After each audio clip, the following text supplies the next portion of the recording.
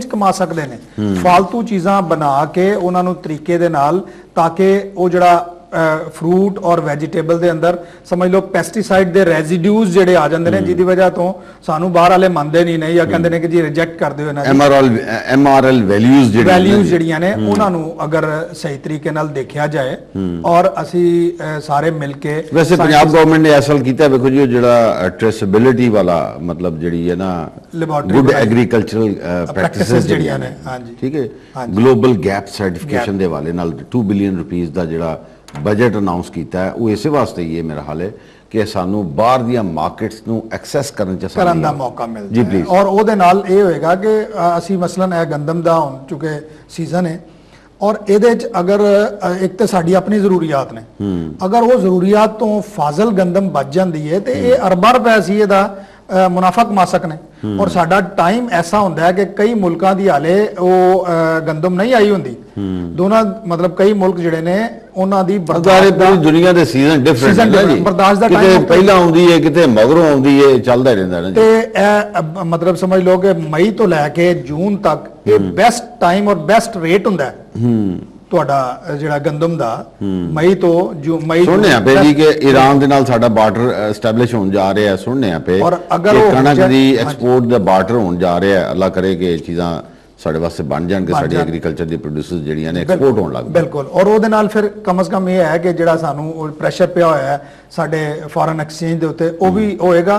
Plus ਇਹ ਵੇ ਕਿ ਜ਼ਿਮੀਦਾਰ ਜਿਹੜਾ ਹੈ ਜਾਂ ਫਾਰ ਜਿਹੜੇ ਦਰਮਿਆਨ ਮਿਡਲਮੈਨ ਜਾਂ ਇਨਵੈਸਟਰ ਈਵਨ ਉਹਨਾਂ ਨੂੰ ਆਪਣੀ ਜੋ ਵੀ ਕਾਰੋਬਾਰ ਕਰਦੇ ਨੇ ਉਹਦੇ ਤੇ ਬਿਹਤਰ ਰਿਟਰਨ ਮਿਲੇਗਾ ਤੇ ਜ਼ਿਆਦਾ ਇਨਵੈਸਟਮੈਂਟ ਹੋਏਗੀ।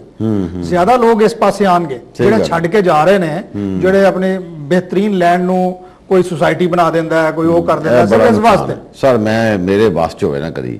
ਖੁਦਾ ਦੀ ਕਸਮ ਆ ਜਿਹੜਾ ਨਾ ਸੁਸਾਇਟੀਆਂ ਵਾਲੇ ਸੁਸਾਇਟੀਆਂ ਵਾਲਾ। ਇਹ ਪਤਾ ਨਹੀਂ ਕੀ ਕਰਦੇ ਨੇ ਕਿੱਲਾ ਥਾਂ ਲੈਂਦੇ ਨੇ ਮਗਰੋਂ 500 ਜਨਾਬ- ਏਕੜ ਹਜ਼ਾਰ ਹਜ਼ਾਰ ਅੱਛਾ, ਦੋ ਦੋ ਮੈਂ- ਮੈਂ ਉਹ ਯਸ ਕਰਨਾ ਜੀ ਮਤਲਬ 100 ਕਿੱਲਾ ਥਾਂ ਲਿਆ ਇਹ ਮਤਲਬ ਜਿਸ ਭਾ ਕਿੱਲਾ ਕਿੱਲਾ ਲੈਂਦੇ ਨੇ ਨਾ ਜਨਾਬ ਇੱਕ ਏਕੜ ਥਾਂ ਲੈਂਦੇ ਨੇ ਉਸ ਭਾ ਮਰਲਾ ਵੇਚਦੇ ਨੇ ਵੇਚਦੇ ਨੇ। ਠੀਕ ਹੈ ਸਰ ਔਰ ਉਸ ਤੋਂ ਬਾਅਦ ਅੱਜ ਵੀ ਤੁਸੀਂ ਵੇਖ ਲਓ ਜਿੰਨੀਆਂ ਸੁਸਾਇਟੀਆਂ ਬਣੀਆਂ ਨੇ ਪਿਛਲੇ 10 12 ਸਾਲਾਂ ਚ ਅਰਬਾਂ ਖਰਬਾਂ ਰੁਪਈਆ ਸੀ ਉਹ ਜ਼ਮੀਨ ਤੇ ਲਾਤਾ ਜਿਹਦੀ ਅਜੇ ਵਟਕ ਹੀ ਕੋਈ ਨਹੀਂ ਹੈ ਹੀ ਕੋਈ ਨਹੀਂ।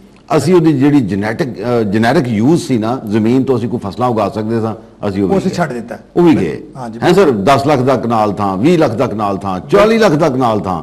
ਉਹ 40 ਲੱਖ ਰੁਪਈਆ ਵੀ ਜ਼ਾਇਆ ਕੀਤਾ ਉਹ ਕਨਾਲ ਥਾਂ ਵੀ ਬਣ ਛੜਿਆ ਬਿਲਕੁਲ ਸਹੀ ਇਹ ਪਤਾ ਨਹੀਂ ਕਦੋਂ ਉੱਥੇ ਵਸੋਂ ਹੋਣੀ ਹੈ ਪਤਾ ਨਹੀਂ ਹਕੂਮਤਾਂ ਕੀ ਕਰਦੀਆਂ ਨੇ ਅਸੀਂ ਤੇ ਮੈਂ ਸਮਝਦਾ ਵਾਂ ਕਿ ਹਾਊਸਿੰਗ ਦੇ ਵਿੱਚ ਚਾਹੀਦਾ ਵੀ ਇਹ ਵੇ ਕਿ ਸੁਸਾਇਟੀ ਜਿਹੜੀ ਵੀ ਕੋਈ ਕੱਟੋ ਉਹਨੂੰ ਕੋ ਜਨਾਬ ਹੈ 5 ਸਾਲ ਦੇ ਵਿੱਚ ਇੱਥੇ ਵਸੋਂ ਹੋਣੀ ਚਾਹੀਦੀ ਹੈ। ਬਿਲਕੁਲ। ਬਾਕੀ ਅਸੀਂ ਜ਼ਮੀਨ ਕਿਉਂ ਜ਼ਾਇਆ ਕਰਦੇ ਆ ਸਾਨੂੰ ਤੇ ਬੜੀ ਹੈਰਤ ਵਾਲੀ ਗੱਲ ਹੈ ਕਿ ਅਸੀਂ ਕਿੱਥੇ ਸੁੱਤੇ ਪਏ ਆ ਪਤਾ ਨਹੀਂ ਕਦੋਂ ਅਸੀਂ ਇਹ ਲੋਕ ਵਰਟੀਕਲ ਲਿਵਿੰਗ ਟ੍ਰੈਂਡ ਆਣੇ ਚਾਹੀਦੇ ਨੇ। ਤੁਸੀਂ ਹੌਰੀਜ਼ੌਂਟਲ ਤੇ ਜਾ ਰਹੇ ਕਿ ਇੱਕ ਬੰਦਾ 20 20 ਕਨਾਲ ਚ ਰਹਿ ਰਿਹਾ ਤੇ ਉਹ ਮੇਰਾ ਮਤਲਬ ਤੁਹਾਡੀ ਬਹੁਤ ਸਾਰੀ ਜਿਹੜੀ ਜ਼ਮੀਨ ਹੈ ਨਾ ਜਿਹੜੀ ਕਾਬਲੇ ਕਾਸ਼ਤ। ਔਰ ਬਿਹਤਰੀਨ ਜ਼ਮੀਨ ਜਿਹੜੀ ਹੈ ਨਾ ਉਹ ਸਾਰੀ ਇਹਦੇ ਵਿੱਚ ਜਾ ਰਹੀ ਪੂਰੇ ਦਾ ਪੂਰਾ ਬੇੜਾ ਗਰਕ ਕਰਤਾ ਜੀ ਮੈਂ ਨਾ ਬੇੜਾ ਨਿਆਈ ਪੈਲੀਆਂ ਦਾ ਬੇੜਾ ਗਰਕ ਕਰਤਾ ਬੇੜਾ ਫੜ ਕੇ। ਗਰਕ ਕਰਤਾ ਹੈ। ਅੱਛਾ ਅਸੀਂ ਗੱਲ ਕਰਦੇ ਸਾਂ ਭਾਈ ਮਾਈਕਰੋ ਨਿਊਟ੍ਰੀਐਂਟਸ ਦੇ ਵਿੱਚ ਤੁਸੀਂ ਕਿਹੜੀਆਂ ਕਿਹੜੀਆਂ ਚੀਜ਼ਾਂ ਨੂੰ ਫੋਕਸ ਕਰਦੇ ਹੋ ਮਾਈਕਰੋ ਨਿਊਟ੍ਰੀਐਂਟਸ ਵਿੱਚ ਦੇਖੋ ਜਿਹੜੀ ਜ਼ਿਆਦਾਤਰ ਸਬਜ਼ੀਆਂ ਦੇ ਵਿੱਚ ਹੂੰ ਨਹੀਂ ਮਤਲਬ ਐਨਪੀਕੇ ਜਿਵੇਂ ਤੁਸੀਂ ਫਰਮਾਇਆ ਉਸ ਤੋਂ ਬਾਅਦ ਕੀ ਕੁਝ ਮੈਕਰੋ ਆ ਗਿਆ ਨਾ ਮਾਈਕਰੋ ਦੇ ਵਿੱਚ ਜ਼ਿੰਕ ਹੈ।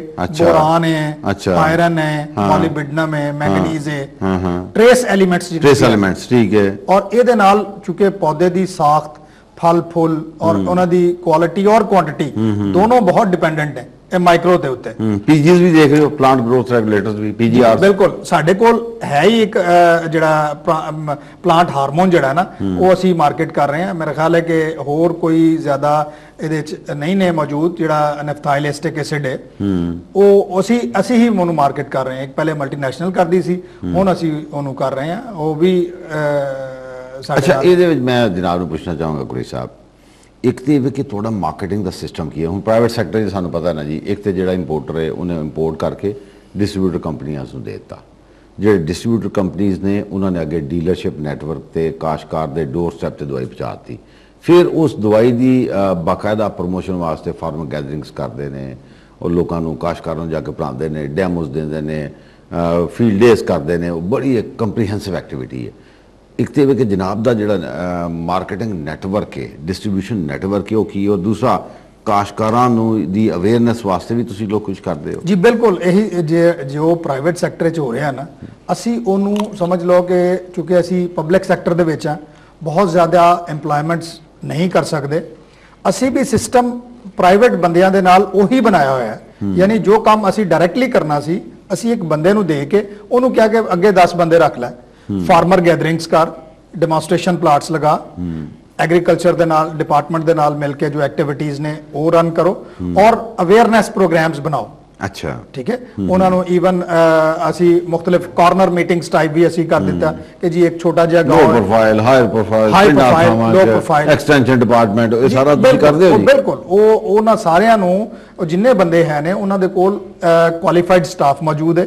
ਉਹਨਾਂ ਦੇ ਕੋਲ ਵਹੀਕਲਸ ਮੌਜੂਦ ਨੇ ਔਰ ਉਹ ਹਰ ਜਗ੍ਹਾ ਤੇ ਜਾਂਦੇ ਨੇ। ਅੱਛਾ। ਔਰ ਉਸੇ ਤਰੀਕੇ ਨਾਲ ਆਪਰੇਟ ਕਰਦੇ ਨੇ ਜਿਵੇਂ ਇੱਕ ਪ੍ਰਾਈਵੇਟ ਕੰਪਨੀ ਕਰ ਰਹੀ ਹੁੰਦੀ। ਹੂੰ ਹੂੰ ਹੂੰ ਠੀਕ ਹੈ ਨਾ? ਮਤਲਬ ਉੱਤੇ ਮੈਨੇਜਮੈਂਟ ਜਿਹੜੀ ਹੈ ਉਹ ਜ਼ਰੂਰ ਪਬਲਿਕ ਸੈਕਟਰ ਦੀ ਹੈ ਲੇਕਿਨ ਥੱਲੇ ਅਗਰ ਤੁਸੀਂ ਚਲੇ ਜਾਓ ਹੌਰੀਜ਼ੌਂਟਲ ਲੈਵਲ ਤੇ ਤੇ ਉੱਥੇ ਉਹੀ ਸਾਰੀਆਂ ਚੀਜ਼ਾਂ ਜੋ ਕਿ ਤੁਹਾਡਾ ਆਪਣਾ ਕੋਈ ਫਾਰਮੂਲੇਸ਼ਨ ਪਲਾਂਟ ਵਗੈਰਾ ਵੀ ਹੈ ਜੀ? ਜੀ ਸਾਡੇ ਅਸਲ 'ਚ ਫਾਰਮੂਲੇਸ਼ਨ ਪਲਾਂਟ ਸਾਡਾ ਪੀਸੀਸੀਆਰ ਦੇ ਵਿੱਚ। ਮਤਲਬ ਇਹ ਸਮਝ ਲਓ ਕਿ ਇਹ ਬੜੀ ਸਾਡਾ ਐਡਵਾਂਟੇਜ ਹੈ ਕਿ ਜਿੰਨਾ ਵੀ ਸਾਡਾ ਉਹ ਹੈ ਵੇ ਮਤਲਬ ਹੈ ਫਿਲਿੰਗ ਫਾਰਮੂਲੇਸ਼ਨ ਇਹ ਸਾਰਾ ਇਹ ਸਭ ਪੀਸੀਸੀਆਰ ਕਰਾਚੀ ਦੇ ਵਿੱਚ ਹੈ। ਅੱਛਾ। ਹਾਂ ਉਹਦੇ ਨਾਲ ਇਹ ਹੁੰਦਾ ਕਿ ਸਾਨੂੰ ਕੋਈ ਵੀ ਕਿਸੇ ਕਿਸਮ ਦੀ ਵੀ ਐਕਸਪਰਟੀ ਰਿਕੁਆਇਰਡ ਹੁੰਦੀ ਹੈ ਨਾ ਤੇ ਉੱਥੇ ਮੌਜੂਦ ਹੈ। ਅੱਛਾ ਇਹਦਾ ਮਤਲਬ ਇੱਕ ਹੋਰ ਵੀ ਆਰਾਮ ਹੋਏਗਾ ਫਿਰ ਤੁਹਾਨੂੰ? ਜੀ। ਕਿ ਜਨਾਬ ਦੇ ਸੈਂਪਲ ਨਹੀਂ ਅਨਫਿਟ ਹੁੰਦੇ ਹੋਣੇ? ਅੱਲਾ ਦਾ ਬਹੁਤ ਆਸਾਨ ਹੈ ਮਤਲਬ ਬਹੁਤ ਸਾਰੇ ਨਹੀਂ ਨਹੀਂ ਦੋ ਗੱਲਾਂ ਨੇ ਜੀ ਇਹਦਾ ਮਤਲਬ ਗਵਰਨਮੈਂਟ ਦਾ ਜੇ ਸੈਂਪਲ ਅਨਫਿਟ ਹੋ ਗਿਆ ਤੇ ਗਵਰਨਮੈਂਟ ਤੇ ਫਿਰ ਕਦੀ ਚੈਲੰਜ ਨਹੀਂ ਕਰੇਗੀ ਨਾ। ਅਸੀਂ ਅਸੀਂ ਇਹ ਐਡਵਾਂਟੇਜ ਲੈਂਦੇ ਤੁਸੀਂ? ਨਹੀਂ ਐਡਵਾਂਟੇਜ ਇਹ ਨਹੀਂ ਲੈਂਦੇ। ਅਸੀਂ ਕੀ ਕਰਨੇ ਆ ਕਿ ਜਦੋਂ ਸਾਡੀ ਕੋਈ ਦਵਾਈ ਵਗੈਰਾ ਹੁੰਦੀ ਹੈ ਨਾ ਕੁਆਲਿਟੀ ਅਸ਼ੋਰੈਂਸ ਵਾਸਤੇ। ਅਸ਼ੋਰੈਂਸ ਵਾਸਤੇ। ਅਸੀਂ ਸਭ ਤੋਂ ਪਹਿਲੇ ਉਹਦਾ ਐਨਾਲਿਸਿਸ ਖੁਦ ਕਰਵਾਉਂਦੇ ਹਾਂ। ਅੱਛਾ। ਔਰ ਉਹੀ ਐਚਪੀਐਲਸੀ ਔਰ ਜੀਸੀ ਔਰ ਉਹਦੇ ਵਿੱਚ। ਔਰ ਉਹਦਾ ਖੁਦ ਅਗਰ ਕਿਤੇ ਖੁਦਾ ਨਾ ਖਾਸਤਾ ਕੋਈ ਪ੍ਰੋਬਲਮ ਅਵਲ ਤਾਂ ਨਹੀਂ ਹੁੰਦਾ। ਅਗਰ ਹੋਵੇ ਵੀ ਤੇ ਅਸੀਂ ਡਿਸਕਾਰਡ ਕਰ ਦਿੰਨੇ ਜਾਂ ਉਹਨੂੰ ਉਹ- ਉਹ ਮਤਲਬ ਹੈ ਕਿ ਮਾਰਕੀਟ ਨਹੀਂ ਕਰਦੇ। ਯਾਨੀ ਬਾਕਾਇਦਾ ਤੌਰ ਤੇ ਤੁਹਾਡੇ ਵੀ ਸਾਰੇ ਉਹੀ ਸਿਸਟਮਸ ਐਸਟੈਬਲਿਸ਼ ਨੇ ਜਿਵੇਂ ਕਿ ਪ੍ਰਾਈਵੇਟ ਪੈਸਾ ਪ੍ਰੈਕਟਿਸਿਸ ਜਿਹੜੀਆਂ ਨੇ ਉਹ ਕਰਦੇ। ਹੁੰਦੀਆਂ ਨੇ। ਅੱਜ ਦੇ ਪ੍ਰੋਗਰਾਮ 'ਚ ਤਸ਼ਰੀਫ ਆਵਰੀ ਵਾਸਤੇ ਹਕੂਮਤੀ ਕਾਵਸ਼ਾਂ ਦਾ ਜ਼ਿਕਰ ਕਰਨ ਵਾਸਤੇ ਔਰ ਤਫਸੀਲੀ ਜਿਹੜੀਆਂ ਪ੍ਰੋਡਕਟਸ ਨੇ ਉਹਨਾਂ ਦੀ ਐਪਲੀਕੇਸ਼ਨ ਟੈਕਨੀਕਸ ਵਾਸਤੇ ਗੱਲਬਾਤ ਕਰਨ ਵਾਸਤੇ ਬਹੁਤ ਸ਼ੁਕਰੀਆ ਅਦਾ ਕਰਾਂਗਾ ਤੀਕੁਰ ਮੰਤਰੀ ਸਾਹਿਬ ਦਾ। ਜਿਹੜੇ ਕਿ ਸੇਲਸ ਐਂਡ ਮਾਰਕੀਟਿੰਗ ਮੈਨੇਜਰ ਨੇ ਨਾਰਥ ਦੇ ਸਟੈਟਿਕ ਕਾਰਪੋਰੇਸ਼ਨ ਦੇ ਔਰ ਉਮੀਦ ਕਰਨਾ ਵਾ ਕਿ ਅੱਜ ਕਣਕ ਦੀ ਸਾਂਭ ਸੰਭਾਲ ਦੇ ਹਵਾਲੇ ਨਾਲ ਜਿਹੜੀਆਂ ਕਣਕ ਦੀਆਂ ਗੋਲੀਆਂ ਨੇ ਉਹਨਾਂ ਦਾ ਇਸਤੇਮਾਲ ਔਰ ਫਿਊਮੀਗੇਸ਼ਨ ਦੇ ਪ੍ਰੋਸੈਸ ਨੂੰ ਕਾਸ਼ਕਾਰਾਂ ਨੇ ਔਰ ਜਿਹੜੇ ਜਿਹੜੇ ਸਟੇਕ ਹੋਲਡਰਸ ਨੇ ਉਹਨਾਂ ਨੇ ਧਿਆਨ ਨਾਲ ਸੁਣਿਆ ਹੋਵੇਗਾ ਔਰ ਜਿਹੜੀਆਂ ਗੱਲਾਂ ਕੋਈ ਸਭ ਨੇ ਦਸੀਆਂ ਨੇ ਉਹਨਾਂ ਤੇ ਅਮਲ ਜ਼ਰੂਰ ਕਰਨਗੇ। ਪ੍ਰੋਗਰਾਮ ਦਾ ਵੇਲਾ ਖਤਮ ਹੋਇਆ। ਆਪਣੇ ਮੇਜ਼ਬਾਨ ਸਈਦ ਮੁਗਲ ਇਜਾਜ਼ਤ ਦਿਓ। ਅੱਲਾ ਹਾਫਿਜ਼।